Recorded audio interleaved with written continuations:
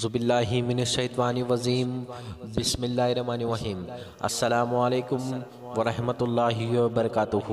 آج ہم مجلس اتحاد المسلمین پارٹی کے بارے میں بات کرنے کے لیے آپ کے سامنے حاضر ہوئے ہیں۔ جیسے کہ آپ سبھی کو پتہ ہی ہوگا کہ اتر پردیش ودھان سبھا الیکشن کو ابھی کچھ ہی سمے باقی ہے اور اس کو لے کر مجلس اتحاد المسلمین پارٹی لکھنؤ آفس میں ہلچل مچی ہوئی ہے اور وہاں پر کینڈیڈیٹ اور الائنس کو لے کر بات چیت چلتی ہوئی نظر آ رہی ہے۔ اور جناب شوقت علی صاحب جلد ہی اس فہرست کو جاری کریں گے اور بیرسٹر اسدالدین اویسی صاحب ان کینڈیڈیٹوں پر مہر لگاتے ہوئے دکھائی دے سکتے ہیں، کیونکہ اتر پردیش ودھان سبھا الیکشن کو لے کر مجلس اتحاد المسلم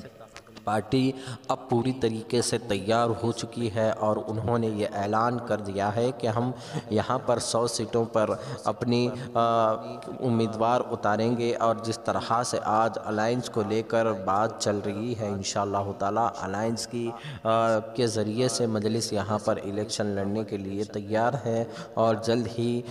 کس پارٹی کے ساتھ مجلس الائنس کرنا چاہتی ہے، اس کا بھی اعلان ہو جائے گا اور ہم کو سوتروں سے یہ خبر خبر مل رہی ہے کہ مجلس اتحاد المسلمین پارٹی بہوجن سماج پارٹی سے الائنس کرتے ہوئے اتر پردیش میں دکھائی دے سکتی ہے اور انشاءاللہ تعالی ان سے بات چیت بھی ہوتی ہوئی نظر آ رہی ہے اور اس پہ سہمتی بھی بنتی ہوئی نظر آ رہی ہے اور آج جس طرح سے لکھنؤ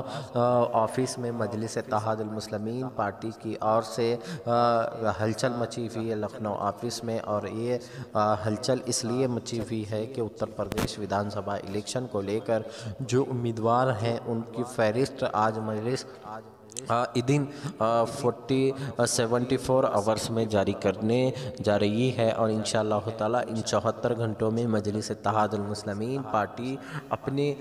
کینڈیڈیٹوں کا نام اعلان کر دے گی۔ تو آپ سب مل کر مجلس کے لیے ایسے ہی دعائیں کرتے رہیں اور مجلس سے جڑی ہوئی خبروں کو دیکھنے، جاننے، پہچاننے کے لیے برائے مہربانی ہمارے اس چینل کو سبسکرائب کر لیں، بیل آئیکن کو دبائیں اور اس ویڈیو کو زیادہ سے زیادہ شیئر کریں۔